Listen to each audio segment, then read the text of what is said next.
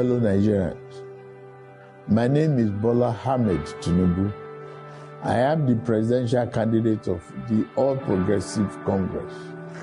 I wish to use this medium to personally thank you and seek your support and prayers for the upcoming presidential election. This election is crucial to our democracy and development as a nation, and we need to get it right. I therefore appeal to you to vote for me. I have the competence and track record to deliver on my promise to you to build a better Nigeria for all.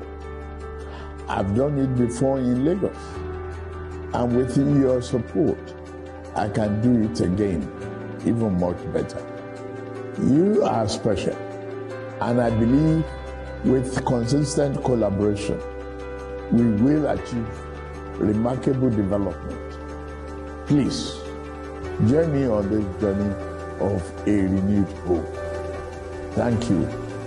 God bless you, and God bless Nigeria.